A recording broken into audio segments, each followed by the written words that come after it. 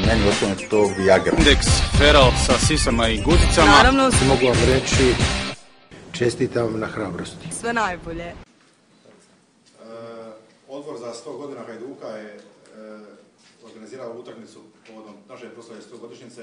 Znate i sami kad smo radili od- ovaj odbor i pripremu cijele, cijele ove manifestacije, da je Hamburg je bio pik broj jedan naspram svih klubova u, u Europi zato što je klub koji je najviše emocije i osjećaja prema Splitu i Spličanima i svima ljudima koji su od Hajduka. I nakon 30 godina uvijek se spominjao Hamburger kako je to bilo nekada, kako je Hajduk ispao iz, iz lige o- ovaj. Meni je drago da smo, da smo tu sada e, došli u Hrvatsku, e, ne samo zbog utakmice, sigurno zbog utakmice na poljudu, ali isto zato što sad ovi svi moji su igrači imaju priliku vidjeti u Hrvatskoj, ne samo stadion, nego i plaže i sve ovdje more, da ipak dosta njih ne zna ili nisu do sada znali kako, kako je lijepo tu. Što očekuješ sutra u utakmici? A Evo, mi smo sad dva tjedna, eh, prije dva tjedna počeli sa treningom, tako da eh, još svima teške noge, nismo eh, još u formi. Imali smo dvije prijateljske utakmice do sada protiv manjih protivnika, tako da sutra nam je prvi pravi, test protiv dobre ekipe i vidjet ćemo onda gdje stojimo. Ja se nadam da će biti dosta ljudi na stadionu jer sam svima pričao kako, kako zna biti dobra atmosfera tu, tako da nadam se da će sutra se vidjeti. Do sada samo jedan od igrač je nam otišao Jerome Boateng u Manchester City, tako da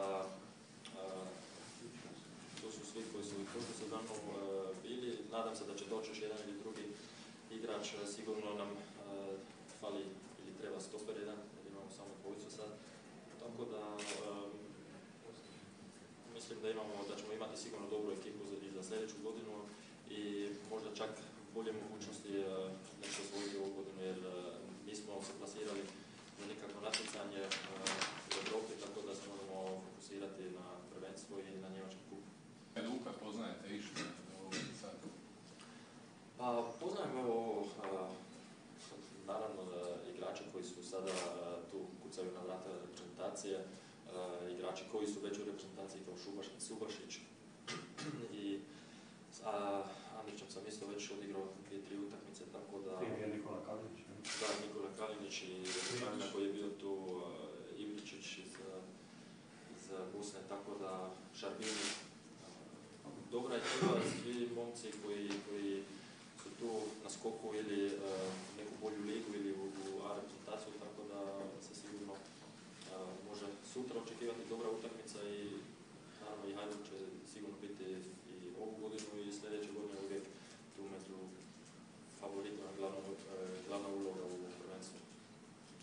Možeš malo prokomentirati nastup Njemačke na svjetskom prvenstvu?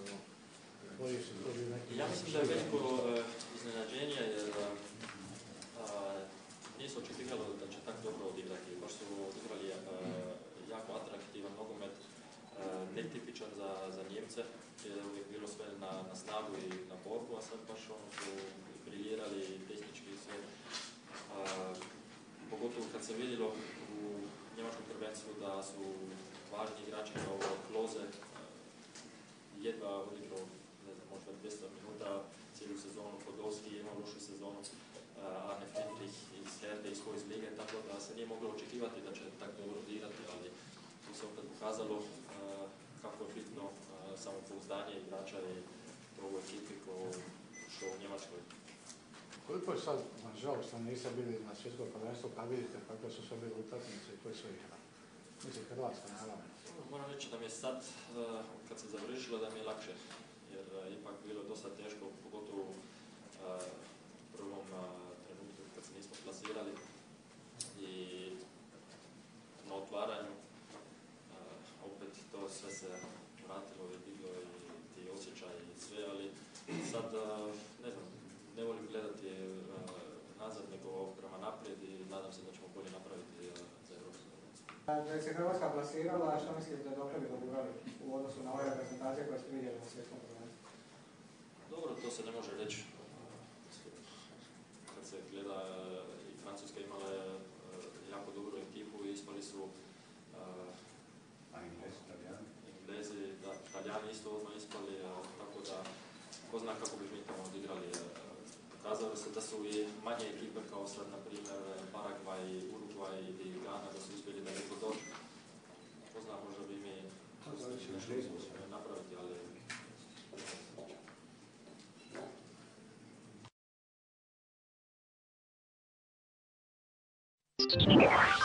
Meni osobno je to Viagra. Indeks Feral sa sisama i guzicama. Naravno, mogu vam reći čestitam na hrabrosti. sve najbolje.